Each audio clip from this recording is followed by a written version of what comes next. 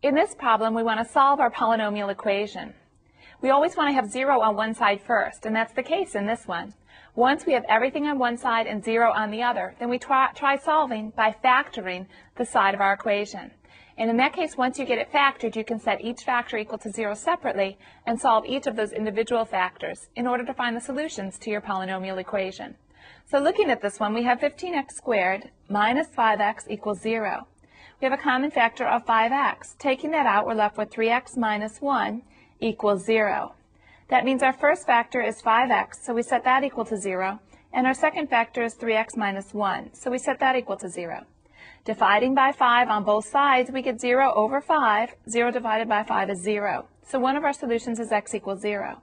Here we have to add the 1 to the other side, and then divide both sides by 3, to get one-third. And if we wrote this as a solution set, we'd have 0 and one-third as the solutions to this polynomial equation.